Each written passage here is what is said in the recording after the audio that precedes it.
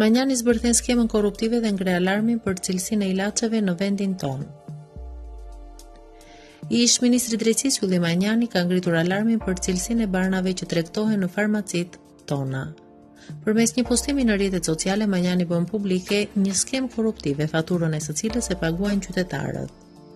Postimi i plotë: Nuk di të them se çfarë kanë bërë ata farmacistë që u arrestuan pak orë përpara grupit të Thomajt, por çështja e cilësisë së barnave që shiten në farmaci është me rëndësi etike.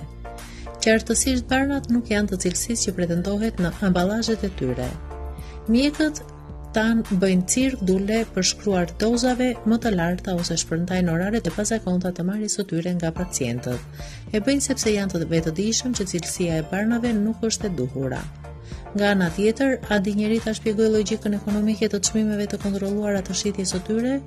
Për më tepër, si ka mundësi që një bar futet në Shqipëri me çmim referencë 20 euro dhe shitet në farmaci 400 lekë? Vetëm dreqi e shpjegon këtë skemë se tregu i lirë jo. Ideja është që këtë diferencë e mbulon shteti me fondet e sigurimeve të detyrueshme shëndetësore. Këtu fillon dhe mbaron problemi te shteti, pra që përdor paratë e atyre që paguajnë për të financuar këtë skemë abuzive fund e krye. Kjo skemë bazohet në një padrejtësi të madhe, sepse ata që paguajnë, paguajnë për shumicën që s'paguan.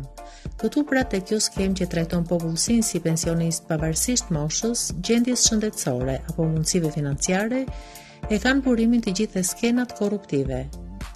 Këtu pra te kjo skemë e ka burimin cilësia skandaloze e barnave, me këtë rast nëse ata farmacistë kanë siguruar barna cilësore për pacientët me thënë të drejtën janë heronj jo fajtorë.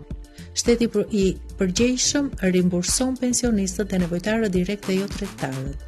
Shteti i përgjegjshëm nuk ndërhyn në treg as vendos çmimet, por zbut pasojat e tij për të pamundurit, sepse si të mundurit si të pamundurit duhet të marrin barna të certifikuara dhe cilësore. Nuk e di kur prokuroria do ta zbërthejë një herë të vetme këtë skemë që të mbyllë në burg ata që helmojnë masivisht popullsinë me barna të rreme.